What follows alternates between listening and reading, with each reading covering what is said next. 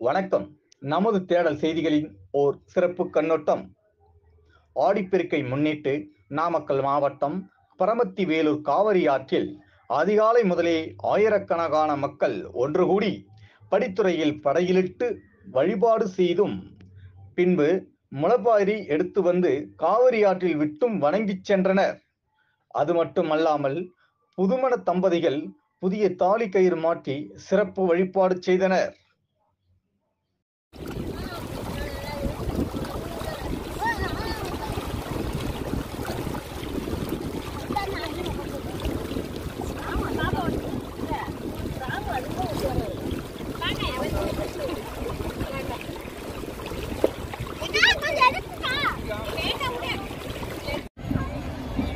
எல்லாத்தையும் அங்கே கூட்டிகிட்டு போக முடியாது.